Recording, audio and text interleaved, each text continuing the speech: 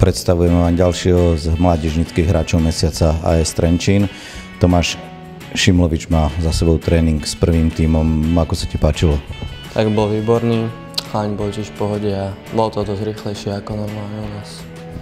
Zostal si tam asi trošku dlhšie, tiež sa čakalo. Aké to bolo? Dobre to bolo, strelba bola tiež dobrá.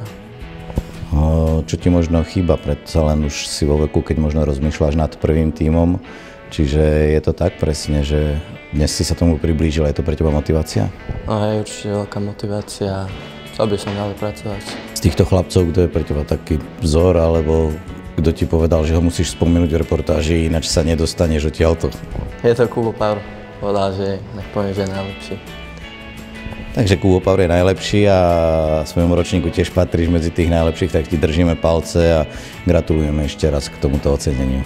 Takže Tomáš Šimlovič vlastne prišiel k nám len v kategórii do 14 rokov a za to obdobie urobil veľký, veľký progres, hráva na pozícii defenzívneho stredopoliara.